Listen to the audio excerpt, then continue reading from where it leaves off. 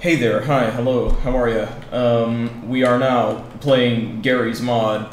Been quite a while since I uploaded, uh... But yes, this is yet another Scapegrace SNPC's volume video. And oh no no no, I'm not showing you guys the spawn menu in this video, it's, uh, it's full of volume 10 secret content. But this is the volume 8 video. Why is it doing this? Alright. Well, if you've watched literally any other Scapegrace SNPC's video on my channel, you should know what to expect. So you know what? Let's get right into it. Volume 10 adds. Three, six, nine new NPCs. This one's one of the better ones in my opinion. I feel like Volume 8 is a bit underrated. But yeah, let's get started. So first up we got Ludolo uh, by Void. So he's another boss suggestion. Once spawned, it spawns two of its minions in. I pronounce that as Descon Hasido, I don't know if that's correct, and Terrakanden, while it just spectates. Ludolo has, that is incorrect. When you kill all of its minions, it says not too bad, but now you have to face me, and then it starts its main fight. It kills on touch, it spawns two random Scapegraces. When you defeat those two, Ludolo just kills you. You can't evade it, it it, just kills you. But instead of killing you, it has a 2% chance to reload your game. When you die, Ludolo spawns Verlies, then he will despawn. I'm not sure if that description is perfectly accurate, because I just took that from the suggestion, but Ludolo has been tweaked slightly, and I will be spawning him with Ent Create. Switch to something non-spoiler. I can't really click on that. If we switch to DRG base, you can see the new icons over there that I teased. Wham, lamp, and underscore create, NPC underscore DRG underscore Ludolo.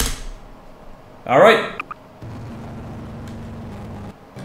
So that happens. And basically, he uh, he greets you, and then you have to fight his minions. Oh shit. So basically, Descon summons in these uh, fake, uh, weird SNPC clones that run around and do absolutely nothing. He does uh, nothing else. Ah, you fell for it. I'm not sure what the point of that is. And he summons in a bunch of these. Uh, that, that, goddammit. Alright, and you have to kill Descon to proceed. Uh, um, yeah, he just, just kills you. And that's kind of all he does, really. So let's kill him. I'll actually just be taking my minion because this is kind of... Get out of here. Okay, I guess you found out. And then you are presented with uh, this very cool looking house, but don't be fooled. Terrakanden lies in this house. And here he comes. So that's this one's mechanic. So Terrakanden has a thousand HP and he's kind of a generic chaser. And uh, that's that's all he does. He can kill you if I were not to be using my admin gun.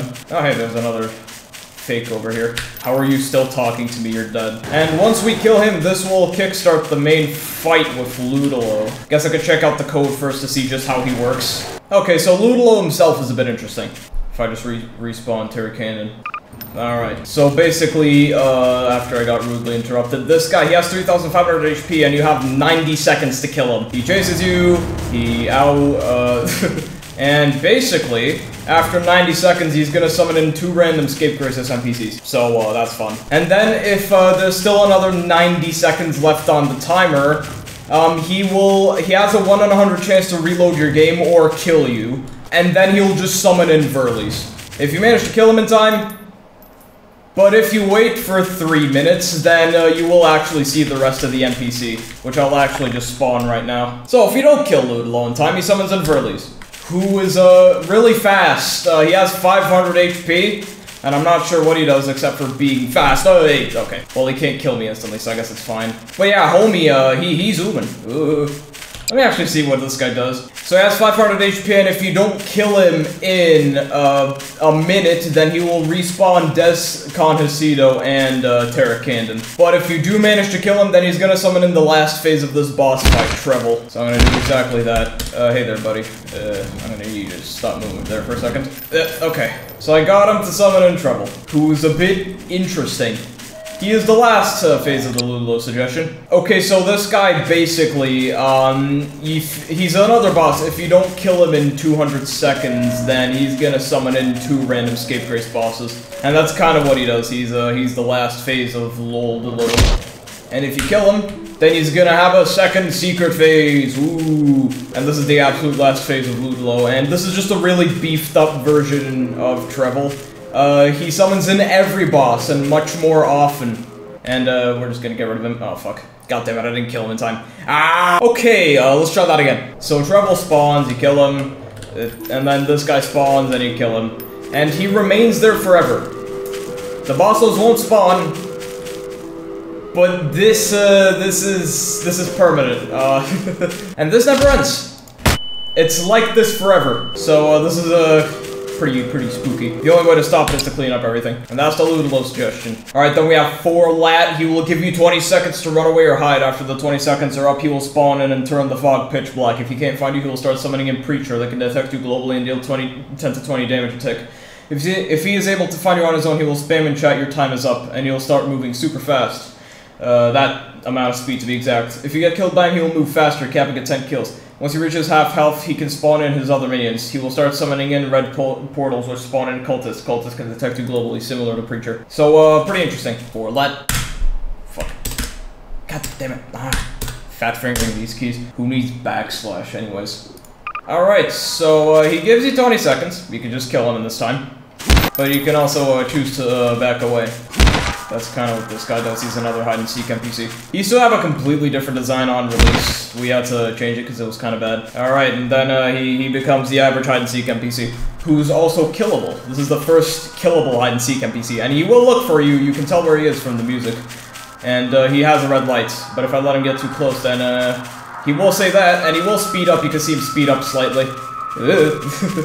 and he would actually be able to kill me and boost his speed if I weren't to be holding this gun. And I could just, uh, where is he? Where is he? Where is he? Where is he? Where is he? I lost him. Let's just do that. Alright, so uh, you can just kill him and he summons in this radio.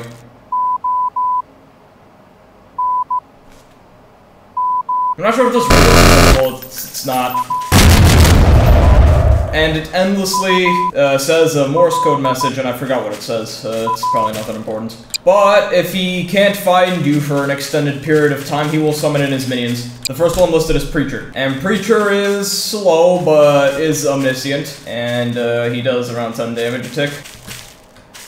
Oh wow. So he kills you pretty fast, and Preacher is killable. One, Dead. And then he summons an Insanity, who's really fast, and he has a shit ton of HP. Actually, this isn't that fast, but as compared to the speed of everything else as part of this NPC, I guess it is kind of fast. God damn it. I forgot he has collision groups. Ah. Die. And then Cultist. Uh, so those portals eventually shit out Cultist. And, uh, yeah, that's, uh, that's all he does. He insta-kills you and he has 300 HP and he's not that fast. And uh, there you go, that's uh, that's Forlat. Hide-and-seek NPC, but he's killable and he summons in a bunch of minions. Not sure how he didn't see me there. His sight range isn't that big, I guess. Hey there. Solar. Solar can't move. This SNPC makes the fog orange and can summon Ember every 20 seconds. This SNPC can also summon two types of minions, spawning one every two minutes. There will be four orbs in random parts of the map. Each have 1,600 HP. If you destroy one, it'll say orb destroyed in chat. And you can also summon in a bunch of minions. That description is a bit inaccurate. I'll just uh, describe it myself. I almost failed to spawn menu there for a second. Alright. So, Solar, pretty big. He's a boss. And uh, I never actually implemented that Ember mechanic because in testing it was really overpowered, but uh, ah, he does that when you got too close to him. And he summons in these suns. I'm turning that off. These are these are his orbs, basically. And you can't damage him by any normal means. He's completely invulnerable. Uh, you have to destroy these things, and they have a thousand HP. And uh, every single time you destroy one of these, it'll take out 12,500 HP. So you have to destroy all four to effectively kill Solar. So I guess that's pretty interesting. Oh yeah, and everything is fire because you're on the sun. And it'll say orb destroyed and look, he lost HP. And then eventually another one will spawn, I'm just not sure where. Uh, up there. And he has a couple of minions of his own, which we might see later. But I'm just gonna try to beat the boss for now. I'm not sure what the timer on the minions are. The timers. Alright, and he's gonna lose a bit more HP. Just a matter of waiting for it, really. Hmm, that's weird. I don't know why, sometimes it just breaks. Yeah, I'm not sure what happened there. Let's respawn. I'll be killing him with the admin. Alright, so he lost HP. Lost HP.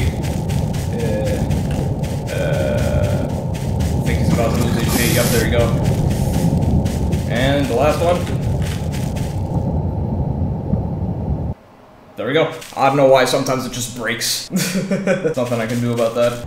I'm not sure what the timer on the minions are. Of course, you can just kill them with cheats. It is once every two minutes. After two minutes have passed, why is that there? He will summon in Diviner. And then after 60 seconds, he will summon in Disintegration. So let's do that. Whee! So Diviner, uh, he, he's stupid. Uh, I don't like this minion, it looks dumb. I'm not sure what he does. So wait, maybe we'll see. But he has 500 HP, he's very slow. Pretty easy to kill. Pretty easy for him to kill you too. Let's see. Oh yeah, right, he summons in these tornadoes that forcefully pull me towards them. I'm, I'm, I'm trying to flee, but I can't. Like, uh, look mom, no hands. Uh, uh -oh. And these tornadoes have 30 HP, gotta kill them. Oh, quick! Uh, uh oh where is he? Okay. no, okay. Well, that's what that one does. Oh yeah. Save the world.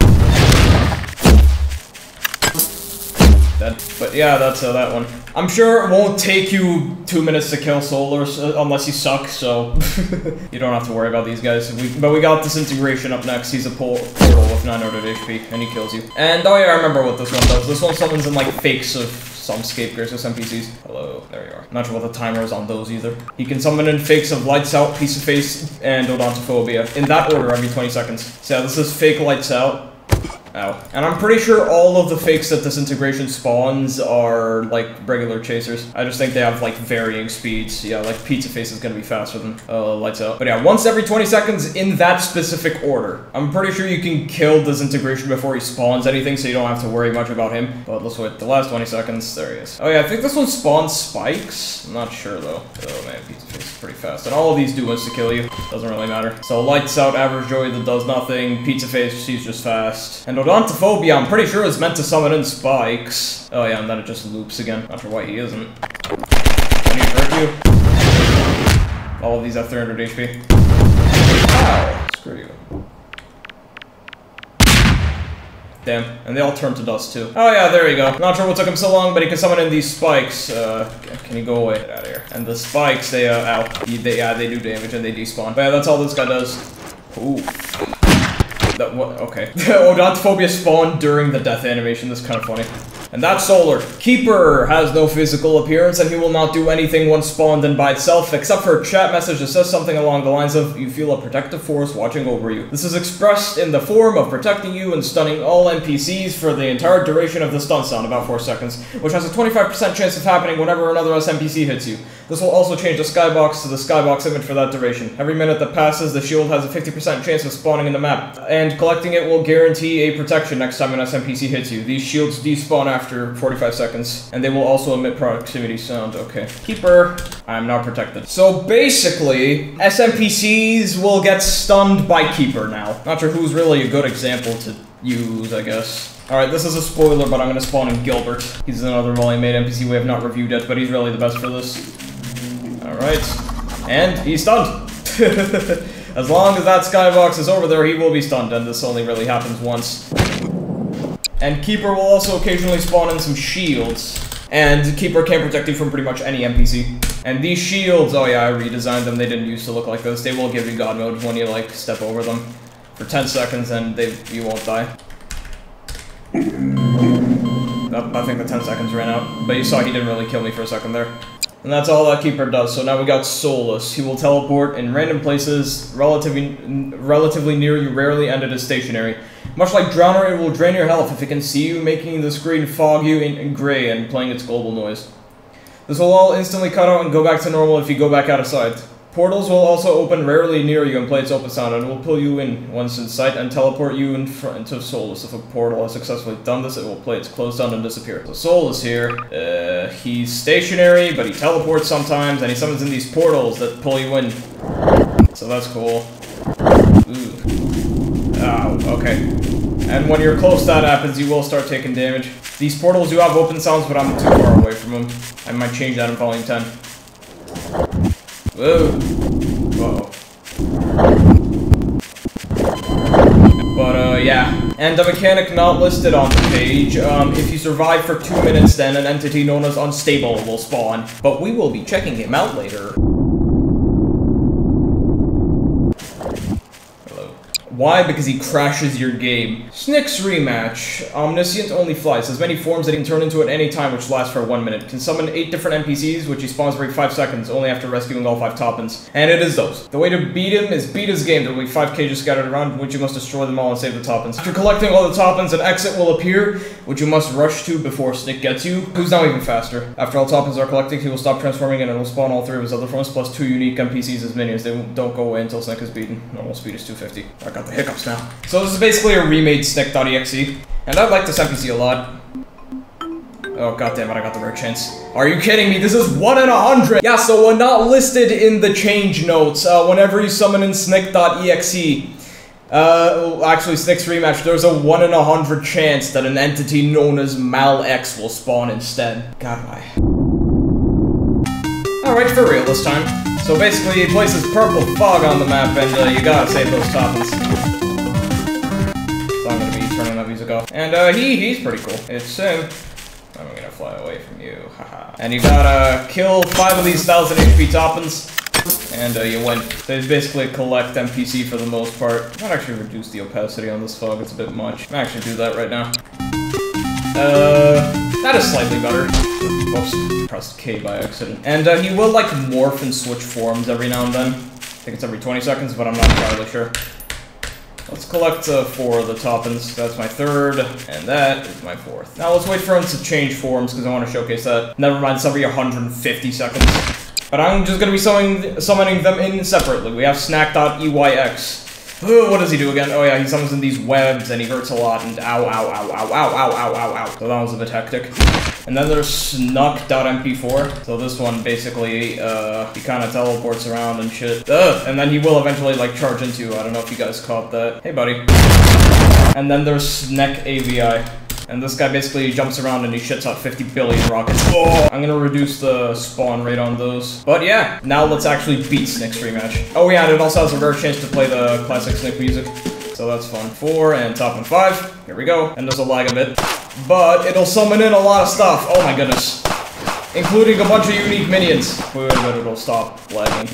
But yeah, it sucks, Jesus. And you basically gotta shoot that exit to win while avoiding God only knows what this is. Kill it with fire. Stop it. Stop this madness. That again. Maybe it won't lag as much if I shoot the fucking exit faster. Last one. Okay, where's the exit? And it plays custom music too. There's envy in the chat, because that's the thing that happens. Oh, why is Delirium there? I don't remember Delirium being a part of this. Yeah, I forget this.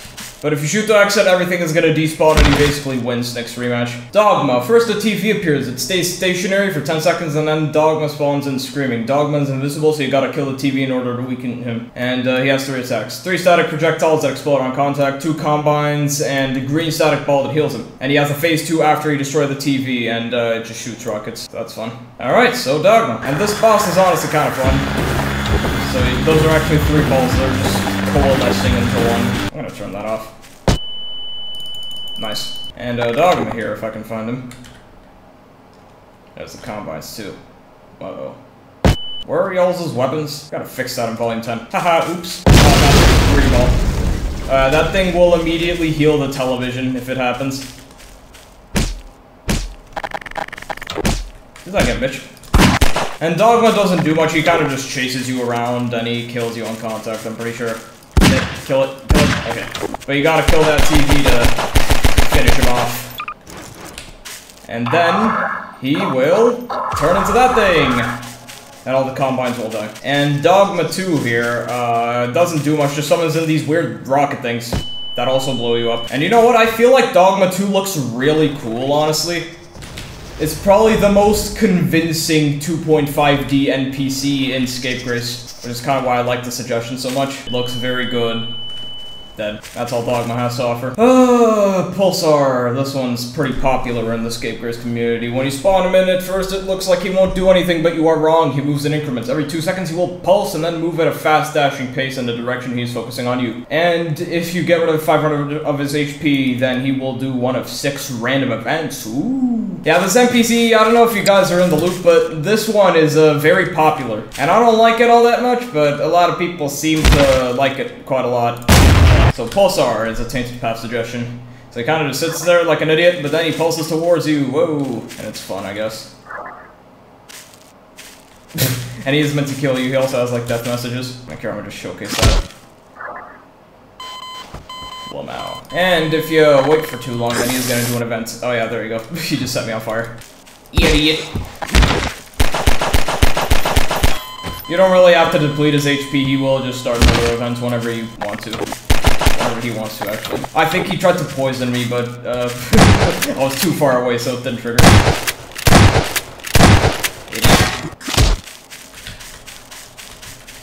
Goodbye, Pissar. And then to end off this banger volume, we have Gilbert, an Obitechi suggestion. Here we go. So he's extremely intelligent. That is his gimmick. He doesn't have any special mechanics. No complete and utter bullshit. He is a strictly no bullshit NPC. As you can see, I'm running low on disk space, but that's all Gilbert does. He's very creepy, and uh, he's a very smart NPC that adapts to environments. He's the smartest AI I think I've ever made for Gmod. Uh, and you know what, I like this one a lot. I think Gilbert turned out, turned out great. He's like one of the highlights of this volume. No, I'm a, I'm a, okay. I was about to say I'm gonna blow myself up first, but